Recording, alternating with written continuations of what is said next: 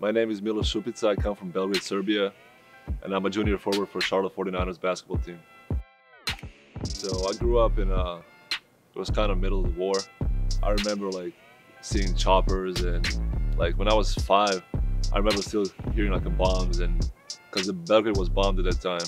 Getting into the athletics was uh, was definitely my distraction from everything else that was going on outside of it. So my parents supported me in the same thing. They told me like, do something that you like so you can actually not think about stuff that's going on outside of it. And uh, you know, it worked. I was into soccer first. I started playing soccer with my friends. So they started playing basketball. So I was like, I'm not gonna be the only one playing soccer. I've been playing since, what was it, like 2008? Uh, since then, I've been like constantly playing basketball.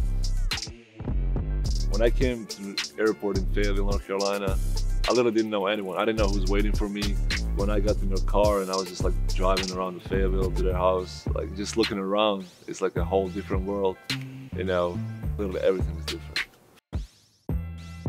Well, having Luka uh, helped me a lot. My freshman year, we came here together. You know, helped a lot because you can always like get away from the American culture a little bit and then like start speaking Serbian to them again.